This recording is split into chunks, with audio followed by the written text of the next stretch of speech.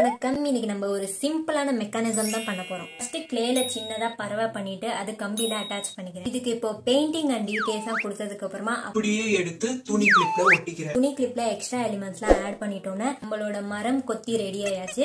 அதாவது இப்படி இருக்குன்னு கமெண்ட் பண்ணுங்க.